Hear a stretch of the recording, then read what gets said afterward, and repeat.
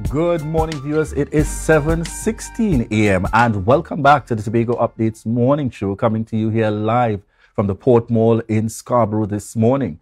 Viewers, I am Julian Skeet, and in this segment, we are chatting with Jason Arthur.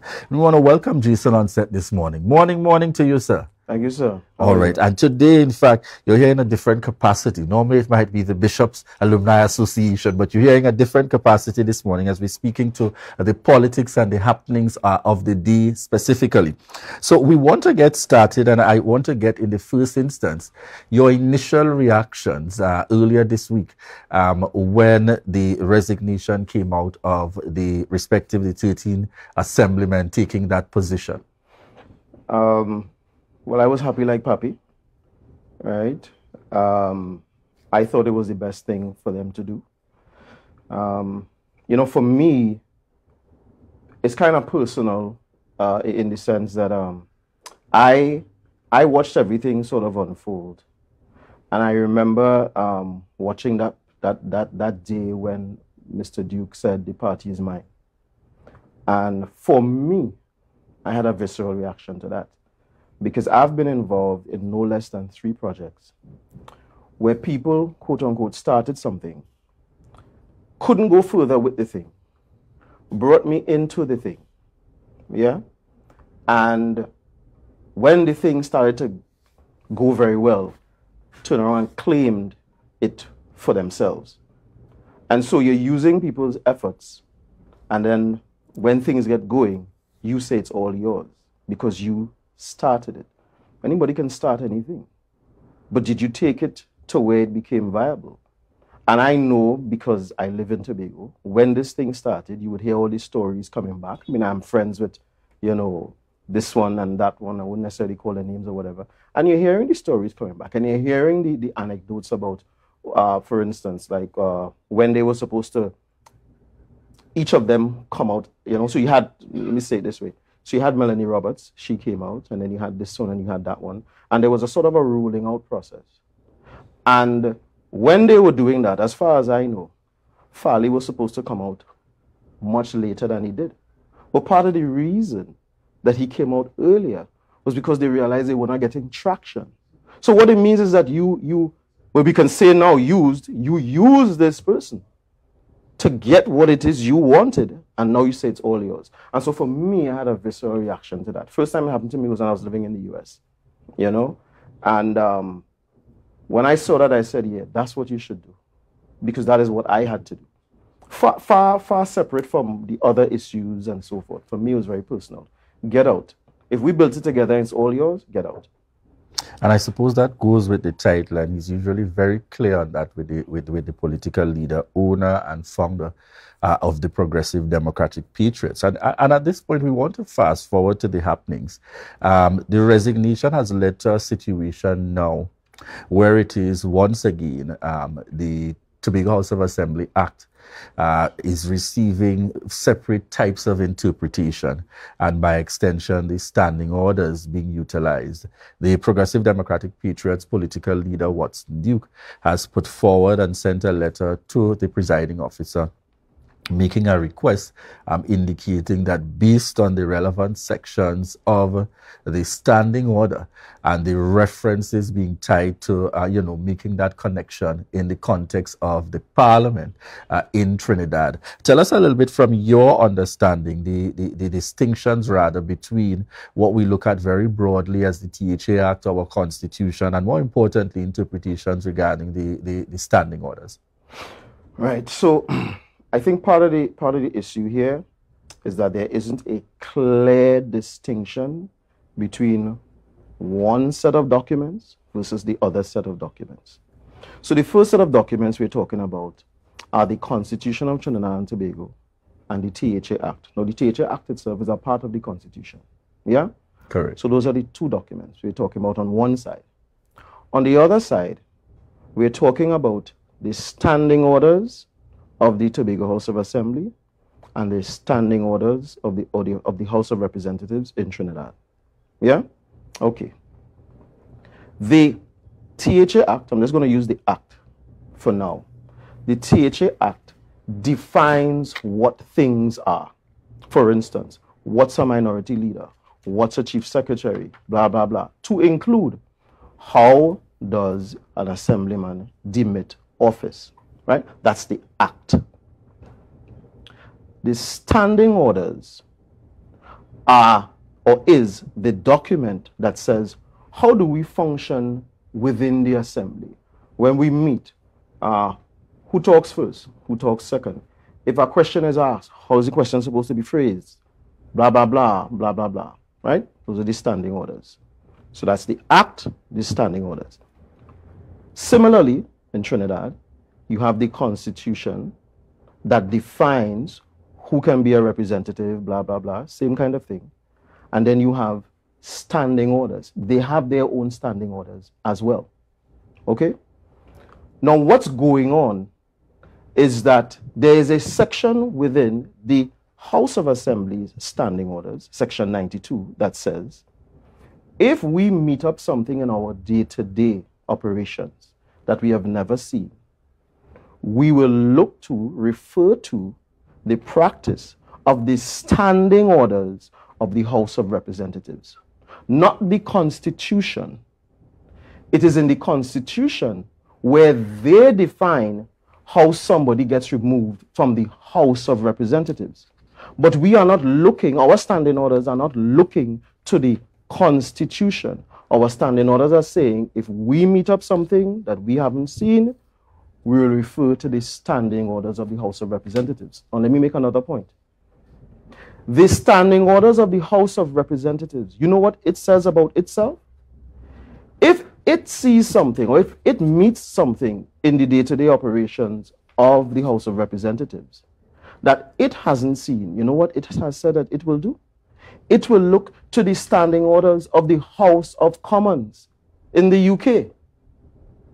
Now, you can't tell me that what they're actually saying is that they're going to look to the laws of the UK. We have our own laws. You understand?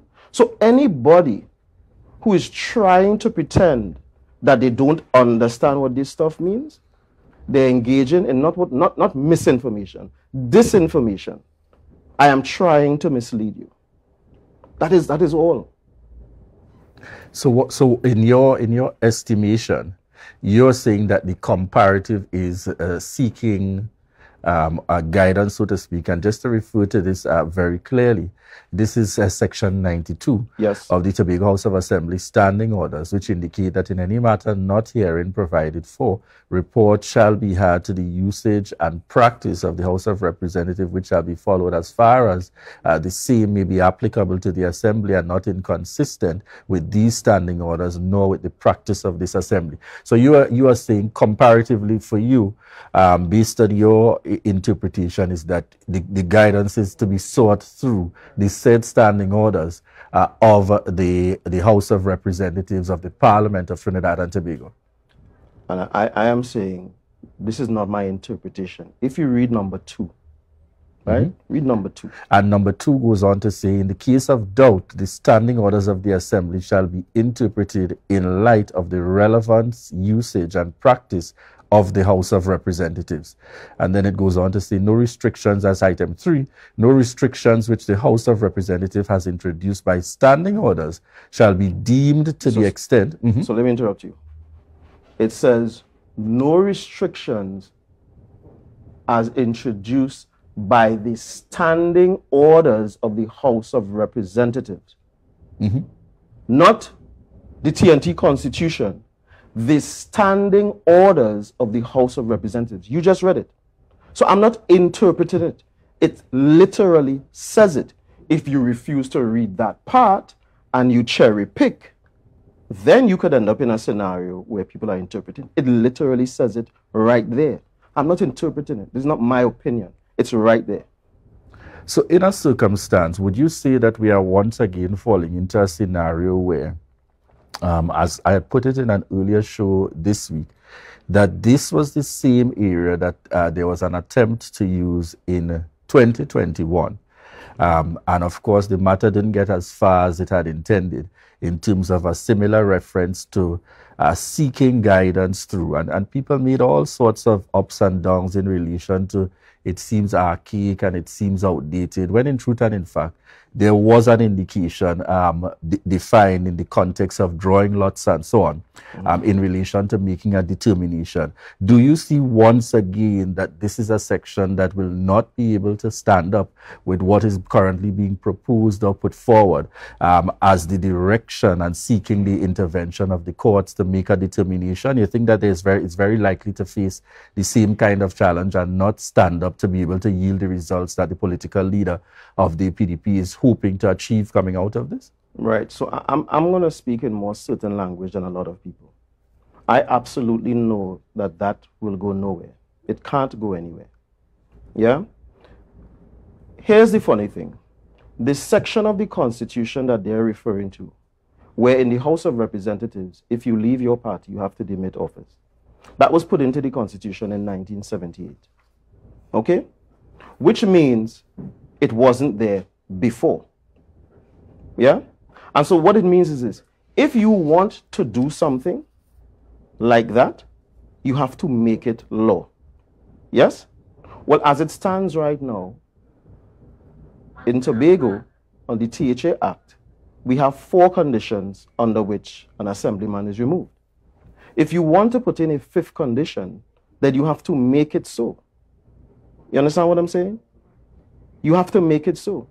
Now, one of the curiosities is this. You might want to ask yourself a question like, uh, hmm, so when we first developed our constitution, which is pretty much predicated on the Westminster system, yeah, and our function of our parliament, I should say, um, how come that law wasn't in there? Why did they have to put it in in 1978? Is it that when they copied it over from the UK, they didn't have a law like that? And you know what the answer is? You know there's no law like that in the UK. There's no law prohibit you, prohibiting you from, from crossing the floor. We decided to do that. And why did we decide to do that? Because our politicians want more power than they already have. And one of the things that, that, that, I, that I aim to do, hopefully, is to do a nice little video showing why I think the Westminster system is the worst thing for Caribbean islands. The fact of the matter is, and I can't go, go into it here, the fact of the matter is that the Westminster system confers far more power on our politicians than they do in these very large countries where they were applied. But like I said, I can't get into it here. But the thing is, so, so what that means to me is you already have far more power than the, the, the system, right, that you've copied, give to other people in other jurisdictions. And then you want even more power and more control. And the question that people have to ask themselves is this To what extent do you want the politicians to have so much power? Is it in your benefit for the politicians to have so much power? I know for me what the answer is. I can't answer for anybody else. The answer is no. I don't want them to have all that power. You have enough power. If somebody wants to leave your party because maybe they disagree with something you're doing in principle and we voted them in, then they should be able to leave. Maybe they're leaving because you're doing something that's against us. But you're threatening them now that if they leave, you're going to take it away from them. Let me let me look at you know just to look at a different perspective. Do you feel and people make the very strong indications of political parties, but do you still feel that in 2022 and most recently the elections of 2021 that as a people in Trinidad and Tobago and more specifically in Tobago, the vast majority of us voted because of party or because of the persons that were presented? Because I, and I'm premising that question on when the issue arose specific in discussions to whether or not we should have um, a leader's face off, Farley versus Tracy, um, you know, in terms of pushing and prompting the direction. This is who our leadership is going to be, almost similar to the US model, uh, where it is fashioned by the leader and by extension those others. Where do you feel we're at uh, as, as a people in that context? So, you know, I've seen a lot of conversation about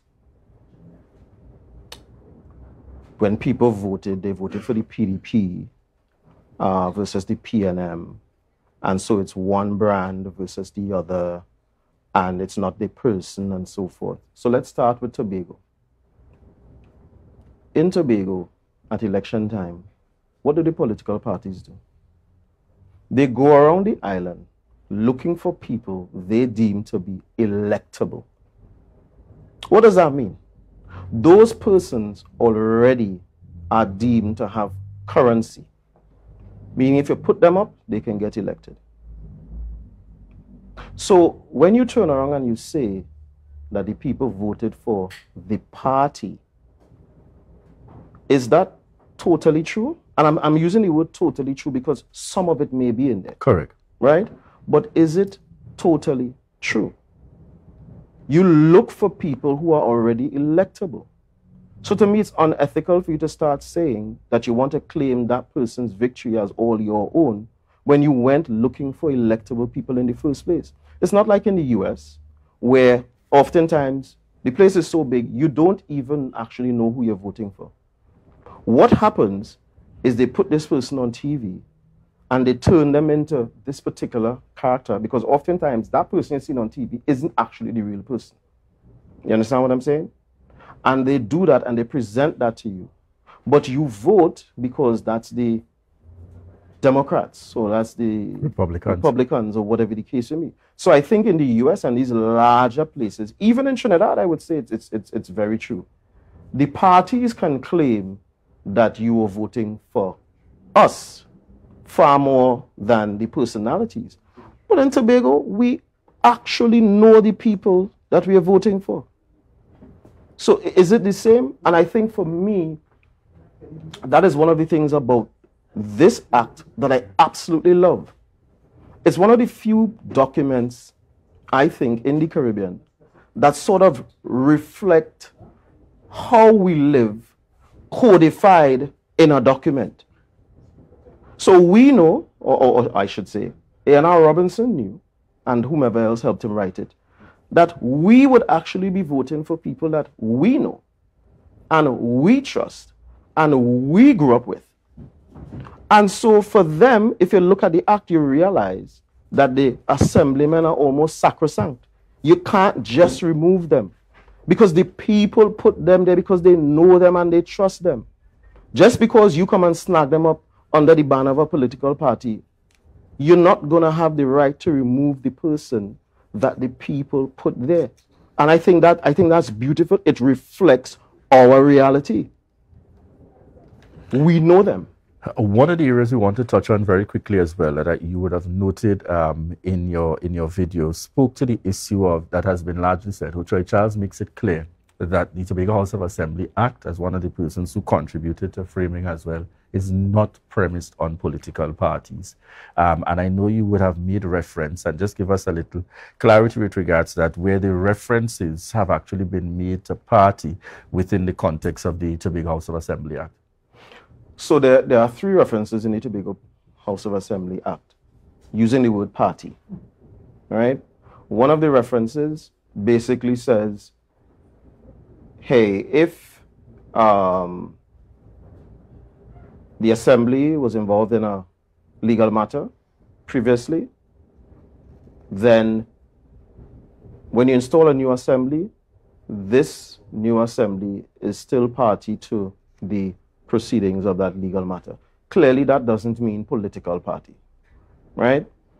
The only other two references to party in the document is where it says how a councillor is picked. And the councillor is picked by a person or a party. Yes. Right?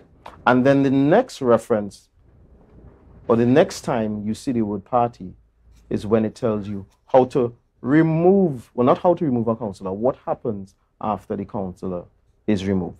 Those are the two references to the word party. Now, here's the funny thing. You see that first reference to party?